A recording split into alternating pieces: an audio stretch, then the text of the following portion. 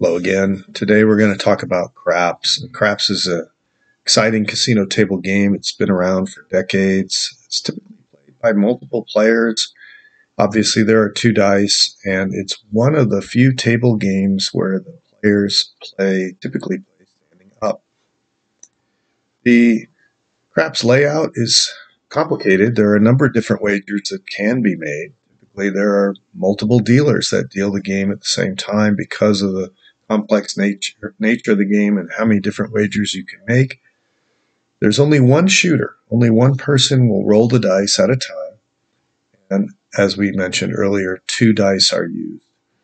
So this video is intended to be an introduction to craps, think about the game, and how do we approach the game conceptually to understand what's happening and to calculate the house advantage. So I think the best way to think about house advantage in terms of craps is to consider the two dice. And frankly, the easiest way to approach it is to is to just let one of the dice be blue and the other die be red. Now, in a real game of craps, both dice are red, but obviously it's the same exact game if you make one red and one blue, or if you make one yellow and one purple. And by making one red and one blue, it's easier to understand what's happening in the game. So this would be an example of all the possible outcomes that you get for a roll uh, in the game of craps. There are six possible outcomes for the blue die, one through six, each equally likely. There are six possible outcomes for the red die. And hopefully what you can see, and I've color-coded it here so you can see it a little easier, is that seven, a roll of seven, or a sum of seven for the two dice, is the most likely outcome. And seven is unique in that prior to rolling the two dice, I have a one in six chance of getting a seven. And if I roll the two dice and the blue die flies off the table and the red die is left there, and I look down at the red die and I say, huh, it's a three, it actually doesn't matter what the red die is. There will always be a complementary value of the blue die so that I can get to seven. So even if I know what one of the two dice is, but not the other one, my chance of rolling a seven remains one in six. And that's the only total for which that happens to be true. And as you can see, seven is the most likely outcome with two dice. And in fact, in the game of craps, seven has a special meaning. It is tends to be the value that ends a game of craps. It ends the roll of the shooter Often the table will be betting with the shooter, and a game of seven ends the ends the game in a manner in which the shooter does not win. So, with an outcome of seven, you may, may hear a lot of groans from the craps table. Let's look at one of the bets. Uh, that is a, a, common bet that's advertised by the stickman. It's called any seven. And basically, it's a one roll bet. You're betting on the very next roll whether a seven will occur. Well, we can look at this grid and see how often does a 7 occur. And we've talked that it's 1 in 6, but the reason we know it's 1 in 6 is there's 36 possible outcomes. There's 6 outcomes for the blue die times 6 outcomes for the red die. So there's 36 entries here in this table. And 6 of those are 7. In other words, 6 of those win and the other 30 lose. So our probability of winning here is 6 in 36 or 1 in 6. We can then calculate the what we call the expected outcome. And what that means is if I make a wager of 1 unit, and my 1 unit might be $1, my 1 unit might be $100 or $25. It's just I'm just wagering a unit. Conceptually, I'm making a wager of 1 unit. What's my expected outcome? Well, I have a 1 6 chance of winning four units because it pays 4 to 1. And I have a 5 6 chance of losing my one unit that I wagered. So if I add these together, overall my expected outcome is minus 1 sixth of a unit. In other words, on average, each one unit I wager on any seven, I can expect to lose 1 sixth of a unit. And so the house advantage is obviously the opposite of that. From the player's perspective, if the player expects to lose one sixth of a unit, then the house expects to win one sixth of a unit. And indeed, the house advantage is one sixth, or expressed as a percentage of the wager, 16.7%. And 16.7% is a fairly healthy house advantage in terms of the overall spectrum of games that you can play in a casino. Let's take a look at another wager on the craps layout, and that's known as place 10. This is not a single roll wager. This wager functions a little differently. If I put a wager on place 10, it will pay 9 to 5 if a 10 is rolled before a 7. And it turns out that all the other rolls 3, 8, 12, 4 all of those other rolls just don't count. The only two rolls that count for this place 10 wager are 10 and 7. If the 10 comes up first, I win the bet. I win 9 to 5. If the 7 comes up first, I just lose my wager. So the only rolls that we need to consider for place 10 are outcomes of a 7 that you can see on this diagonal or an outcome of 10. All of these other totals, they just don't matter. They don't affect the outcome of this wager. So there are only nine possible rolls that affect the outcome six sevens and three tens. And of those nine, three are winners, the three tens. So my probability of winning this bet is one in three. And again, let's look at the player's expected outcome. The expected outcome is I have a one third chance of winning. And if I win, I'll win nine fifths of my unit that I bet. Uh, but I have a two thirds chance of losing. And if I lose, I'll simply lose my bet minus one.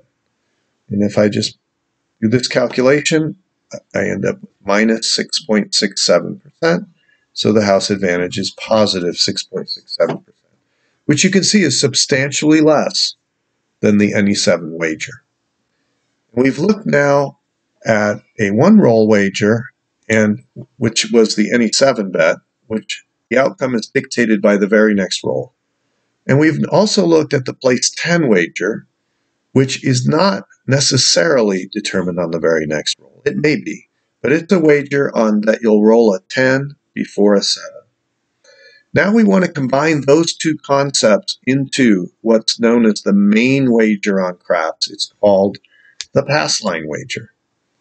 And if we look at the pass line wager, essentially what the pass line wager is, is that if the shooter rolls a 7 or 11 on the very first roll, the pass line wager wins. If the shooter rolls a 2, 3, or 12 on the very first roll, the pass line wager loses. Otherwise, otherwise, the the roll, which all that's left that's possible is 4, 5, 6, 8, 9, 10. Otherwise, the whatever is rolled, 4, 5, 6, 8, 9, or 10, becomes the point. What's known as the point, and the point must be re-rolled before a 7 in order to win. Now that sounds pretty complicated, but the way we're going to break down this wager is we're going to look at it in parts that make it manageable. And here's a table that breaks down this wager. So if the first roll is a 2, and the chance of that from the table, I can read there's only one way to get a 2. There's a 1 in 36 chance of getting a 2. But if the first roll is a 2, I lose. If the first roll is a 3, I lose. We're going to skip 4, 5, and 6 for a moment. If the first roll is a 7, I automatically win. If the first roll is an 11, I automatically win. And if the first roll is a 12, I lose. So anything else establishes the point, which is 4, 5, 6, or 8, 9, 10. So let's look at, for example, 4. So I've established the point as a 4, and now to win this pass line wager, I have to re-roll that 4 before a 7. Well, I can look at my chart here, my table, and see how often that happens. 4, 4, 4. There's three ways to get a 4. There are six ways to get a 7.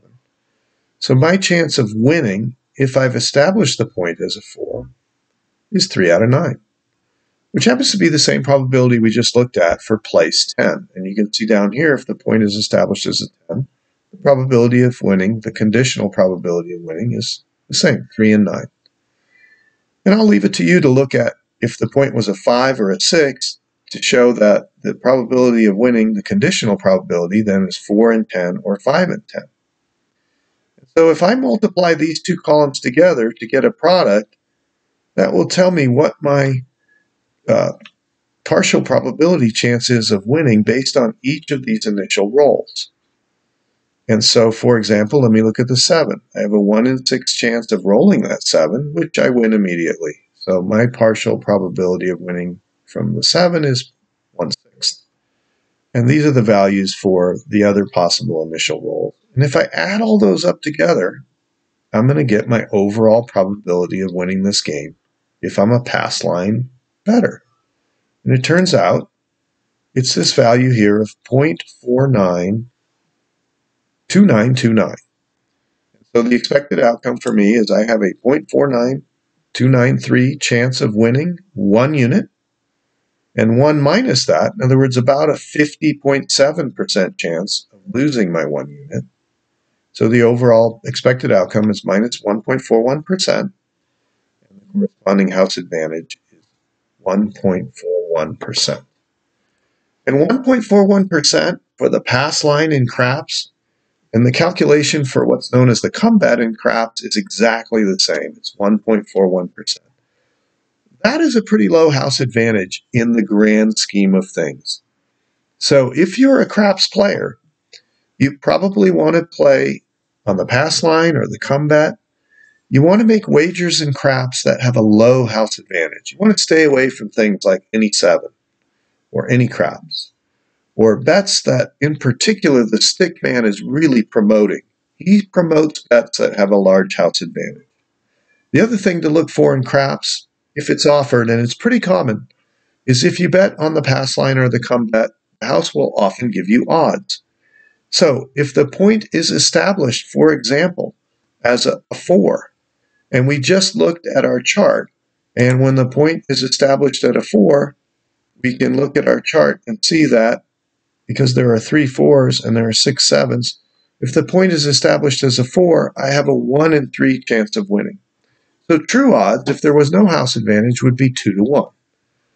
And so when a house offers free odds, that means they're allowing you to make an additional wager after your pass bet or your come bet with no additional house advantage. So that's something that actually doesn't hurt you or benefit you. It's just a way of getting a wager out where there is no house advantage. And so if you're trying to minimize the house advantage, that would be another wager that you should definitely look at. Hope you enjoyed this presentation. If you have any comments or questions, feel free to to leave them on this video and I will try to respond. Thank you.